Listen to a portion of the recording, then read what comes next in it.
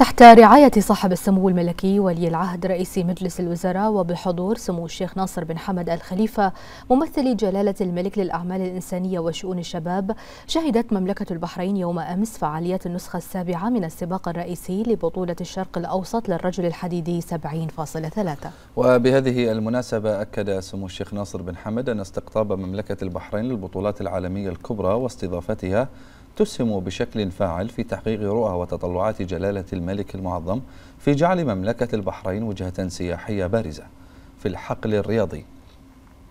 وبما يؤكد على الدوام ما حققته المملكة من منجزات رياضية طوال السنوات الماضية. وعرب سموه عن فخره وتثمينه لاهتمام ودعم سمو العهد رئيس مجلس الوزراء ومتابعة سموه الدائمة. الأمر الذي ينعكس على جعل الجانب الرياضي أحد الروافد الهامة والفاعلة في تحقيق رؤية المملكة الاقتصادية 2030 وعبر سموه عن سعادته البالغة بما حققته مملكة البحرين من نجاحات في استقطاب الفعاليات الرياضية الكبرى ما جعلها محط أنظار العالم. الأمر الذي يجعل من الجانب الرياضي محور تأكيد دائم على نماء البحرين وازدهارها بما يرفض رصيد منجزاتها دولياً.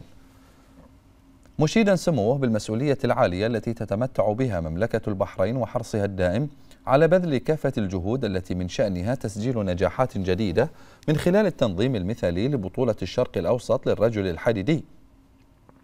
متمنيا سموه كل التوفيق والنجاح لكافة المشاركين ومشيدا بجهود كافة المساهمين في تنظيم البطولة.